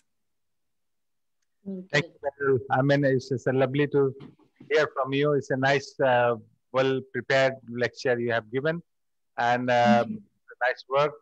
And I'm sure um, uh, this is the beginning, good beginning uh, with uh, you guys uh, to have some uh, thoughts about Bangladeshi films and others. So we'll be in touch more. I mean, we have tomorrow West Meets East program. Maybe you can join us also um, uh, as a viewers, or I don't know whether uh, Mr. Ghalib and uh, Sadia Khalid, um, they're here. Uh, so might be because Ogi is going to join and Sydney is also going to join. So as well as uh, Gyda might be joined with Ogi tomorrow. But you can also come tomorrow, I mean, with the West Meets East program. if you have time, subject to if you have time. But you said also you have a great interest about Indian film. So on day after tomorrow, we have a, a huge uh, seminar. It's about the Satyajit Ray's 100th birth anniversary, where the famous Indian actress Sharmila Thakur and Dhritiman Chatterjee, they are going to be uh, connected by online. And uh, the, today, Mr. Mofidul Haque is presiding our session. He is going to present the keynote paper on that day. And also one of our leading uh, actor or cultural activist, famous person, Mr. Asaduzzaman Noor, member of the parliament, he's going to preside the session. And uh, Justice Refat Ahmed is a very famous art, critic and uh, I mean um, music, I mean painting collector. He's also going to speak. And also there's a film critic, Mr. Moinuddin Khaled. He's going to speak also on day after tomorrow. So I'll, I, I welcome you all to join on this day. It's not finished today. Now Mr. Mofidul Haque, he's going to wrap it up. I mean, everything but um, maybe um, uh, before, uh, if you have any, anybody has any question, maybe, or I don't know, with, then Mr. Mofidul can come. maybe you can contact this Q&A if there is any Q&A.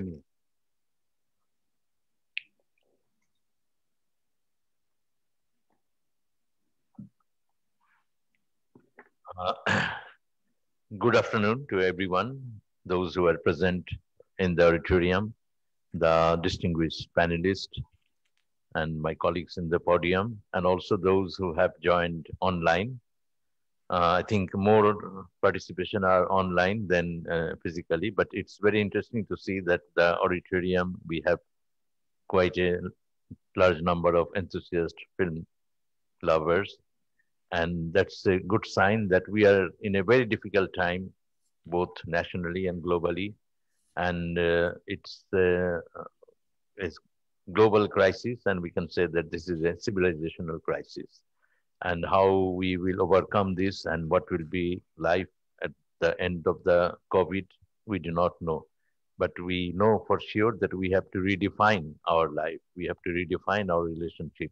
We have to redefine the way civilization has uh, established certain norms and certain lifestyle and also certain way to look at life and I think this festival is uh, very significant. And also this uh, seventh uh, international conference on women in cinema.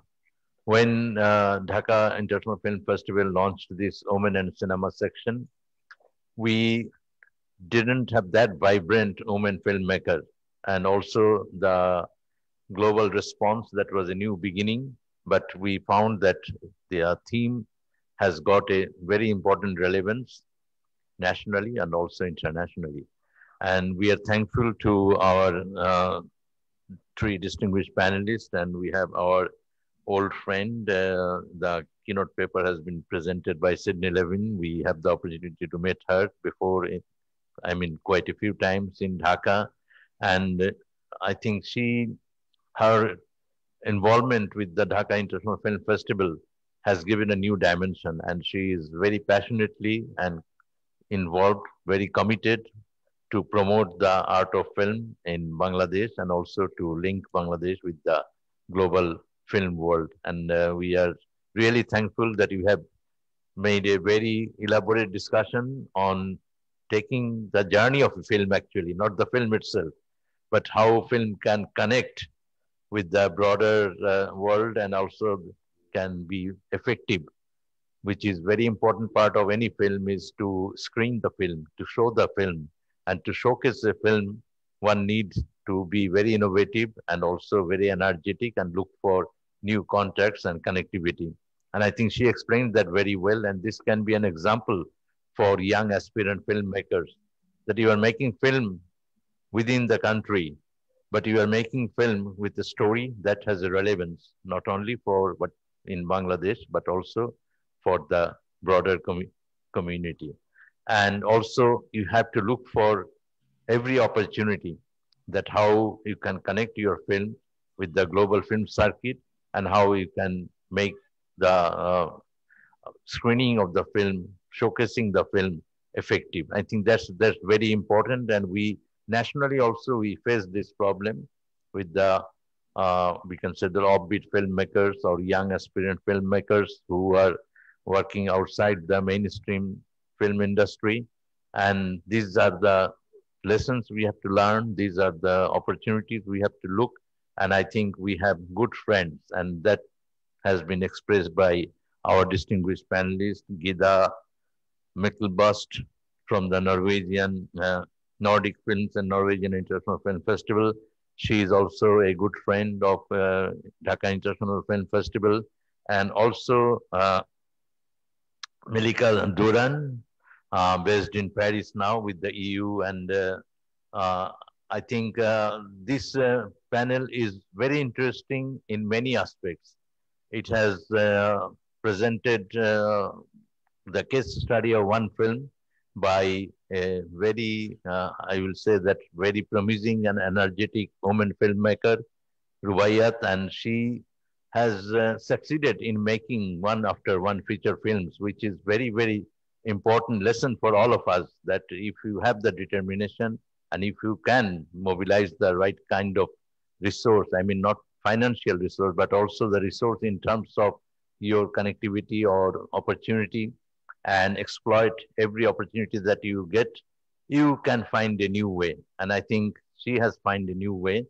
But one unfortunate part is that her film, we in Bangladesh could not have the much opportunity to see the film. Meherjaan, the film has a very checkered history and very unfortunate. It was passed in the censorship. There was debate within the censor committee, but ultimately the censor committee released the film. But there was popular anger, I will say, regarding the image of Bangladesh or image of the freedom struggle that has been portrayed in the film. I think we have to be tolerant when we address the issue of art and we should be tolerant to the other voice.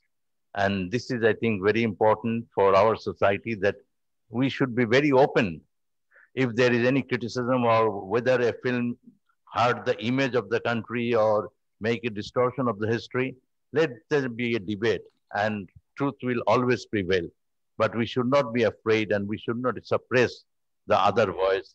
And I think this uh, is very important also for Made in Bangladesh that when the film was being discussed, it was found that uh, she thought that it will not pass through the censorship. But I think such, uh, she should also submit it to the censorship. And also the civil society has the responsibility regarding the policy of censoring a film. If the film is honest, let the voice come out and let the other voices also be raised. Let there be criticism, let there be discussion on it. And I think today's session is a very interesting in a sense that we have different opinions uh, coming uh, together and we have uh, opposite view or we have uh, views which differ with each other.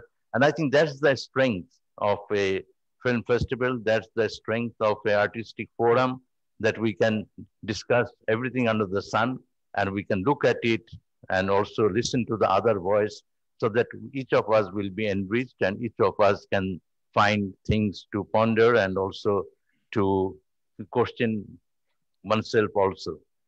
And uh, I will say that I find the presentation, long presentation by uh, Sydney Levine, very, very interesting. She also touched the aspects of the film. The film about is about the garment workers and the industry, as she has said, that it started in 1983. We know that how, in a small way, the Desh government and one of the leading freedom fighter, he actually initiated the process and then uh, almost overnight the whole scenario changed and now it is the uh, largest foreign exchange earner for Bangladesh and employ more than 3 million people. And hmm. also women, the rural women especially, they found a new place and also we can call it sweatshop, but it has its tragic part, it has its uh, many dark side, but it is also giving employment um, opportunity to the women. And that has empowered the women in a new way.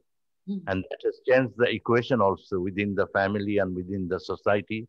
The woman as a earner, as a money earner, has given them a kind of new dimension and new strength in life. And their hopes and dreams are shattered in many ways. And Rana Plaza is a traumatic experience for all of us. And we cannot forget Rana Plaza. But I think Bangladesh also learned from Rana Plaza. The whole factory scenario has changed.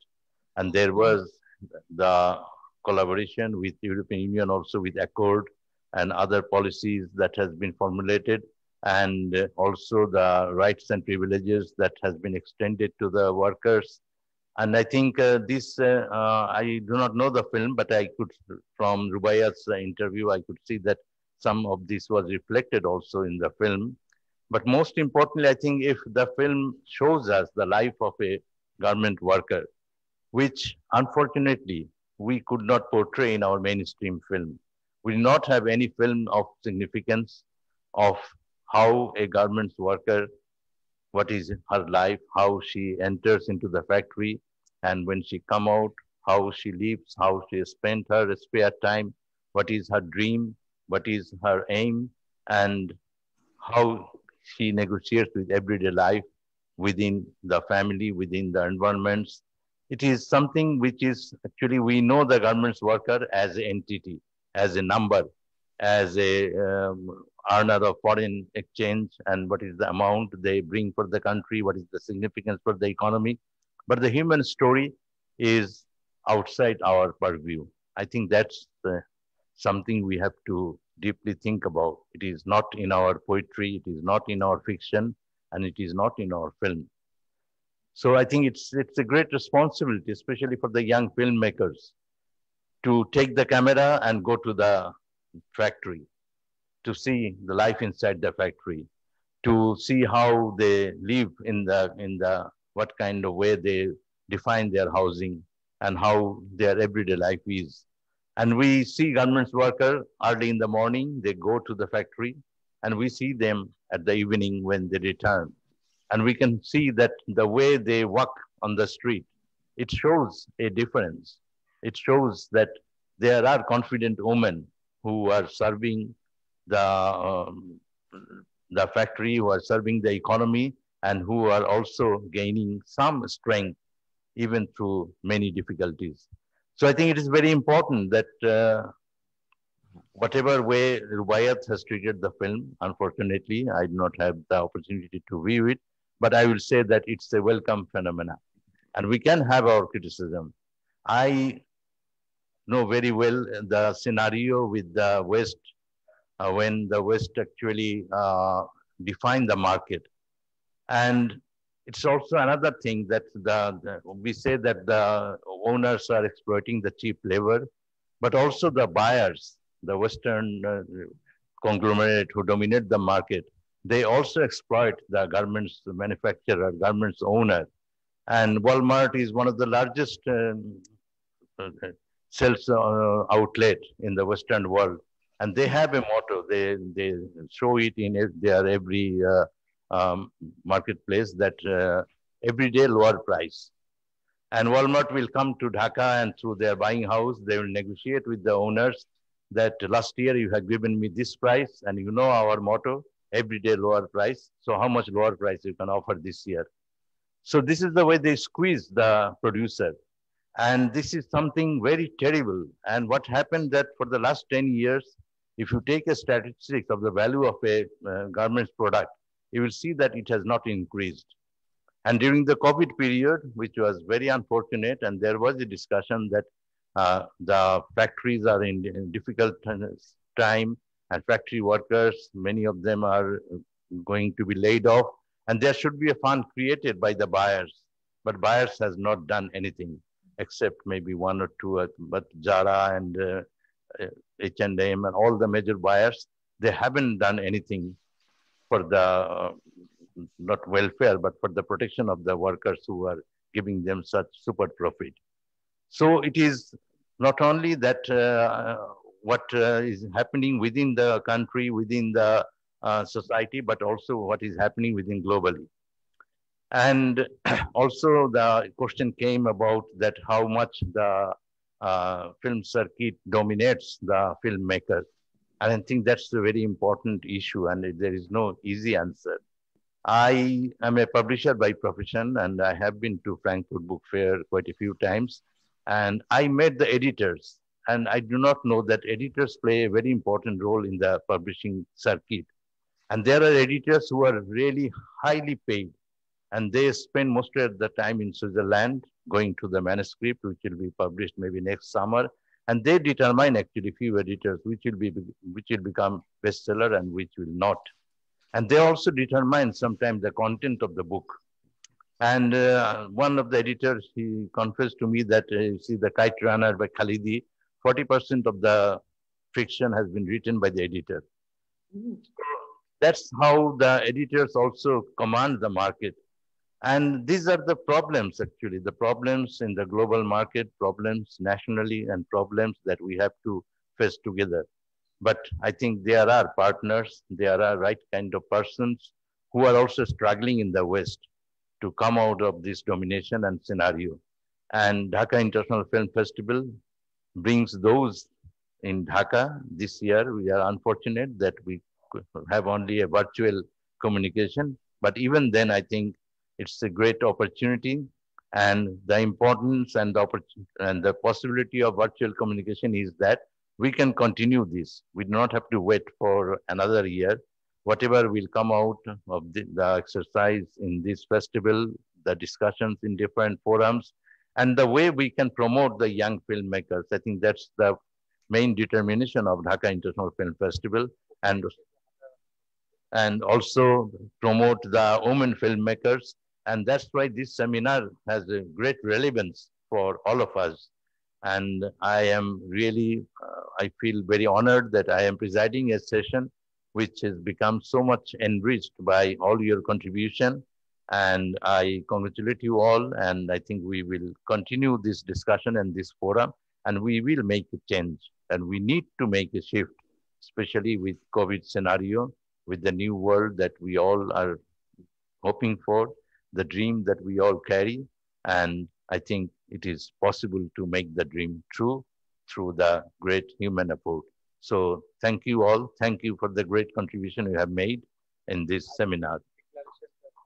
And we have a session after that to uh, present you the declaration of the of the uh, seventh international conference of women in cinema.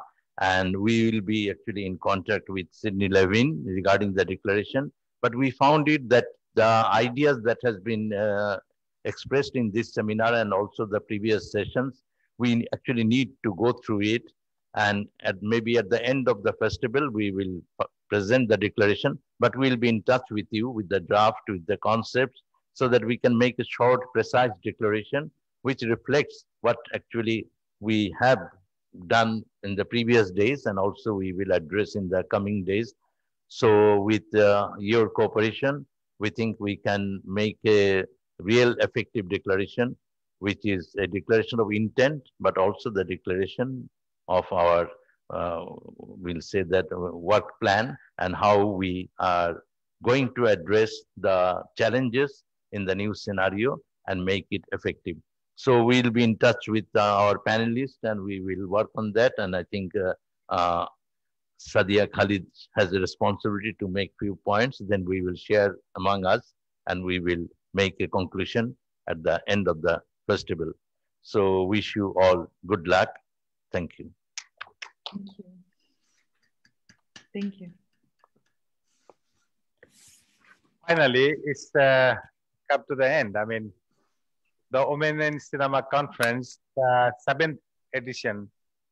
Gyda was in the first edition in 2014. So this year, 2021. Wonderful. We, we are having seventh edition. So now it's finished. So we have to think about the eighth edition in 2022 in January. So let's see. So we'll, uh, we'll, we'll, we'll, we'll keep in touch. We'll be in touch will be next couple of days. We have a lot of other programs. I'm sure you're gonna connect tomorrow. We have a very a special program. West Meet East program is for the local filmmakers. So if you got the chance, please be connect. Sydney will be connect, of course. But uh, Gyda and Malaika, if you can join, let's join. And well. another, yeah, another thing is that we are having open air uh, film screening, first time in Dhaka Film Festival history. We never did before. Uh, uh, in fact, I got the inspiration at the Piazza Grande, Locarno. Mm. Have the beautiful place, like, but we don't have Piazza Grande. We have a fountain area at the Bangladesh Shilpakala Academy. It's called Nandan Theatre. We are actually having this session. And uh, we have a one segment, legendary leaders who changed the world. Our father of the nations has 100 birth anniversary uh, according to um, his birth anniversary, we are uh, having we we, are, we have got some films about Lenin, Castro, uh, um, Arafat, Marshal Tito, Mahatma Gandhi, uh, the, and also uh, one film made by Oshima in Japan, Japanese filmmaker about our father of the nation in 1973. This film we are we are screening in this section. Also, at some films from the tribute of Satyajit Ray. Um, today also we have a Satyajit Ray film. Last two days was Satyajit Ray. But from tomorrow, the legendary leaders will be screening will be there. So a lot of people, actually around 1,000 people are watching every day the films. So it's a good idea, good things. I mean, it's coming. It's open air show. So let's see. We want to continue the next year when you'll be in Dhaka. Maybe you'll be joined in the open air show next year. Who knows? Mm -hmm. Have a nice day, my dear. Great. And thank you very much for joining. Bye bye. Ciao. Arrivederci. Thank you very much. It was Au great. revoir. Au revoir. Good, good job. Thank you. Merci. Au And good luck with the open screening, open air screening. That's amazing. Yeah. Thank you for this amazing session. Thank you, uh, Gyda. Thank you, Sydney. It was amazing. Thank you, uh, Ahmed. And uh, thank you for all the participants. It was really, really amazing. Thank you. Okay. Thank you. I'm so glad you all were here. I really enjoyed this. Great thoughts. Thank you.